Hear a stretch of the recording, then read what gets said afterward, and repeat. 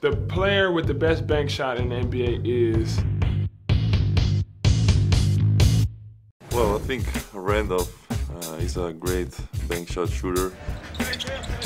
Z-Bo makes the move against Maxiel. Banks it home and is fouled. Oh, oh, sweetness. A little plexi action.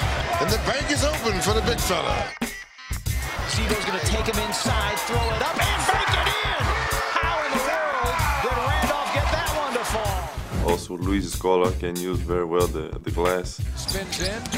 Luis spins. The Argentinian tango. And it's back. Scola again.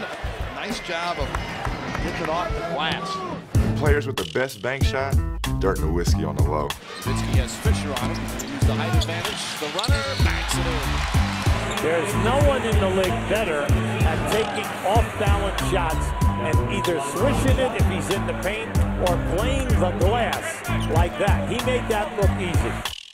He's just so good at getting the right angle over there off either block. If you crowd him, he draws a foul, and if you don't, then he just uses that bank shot and knocks it in. Oh, you gotta be kidding me! The bank is still open on Sunday night. The player with the best bank shots, Tim Duncan, no question. You know, I think that's his go-to. Tim Duncan with a hook off glass. That's some vintage Tim Duncan right there. He really brought back using the backboard as a weapon in the NBA. He's mastered it. He's done it numerous of times. Once he finds his mark on the glass, it's going in. And the bank is open. The kiss right off the glass. A chance at a three-point play. That's the first first one that comes to mind. Big fundamentals. You just know you don't want to give him that shot from either side. He's pretty accurate. I say he's probably uh, the best.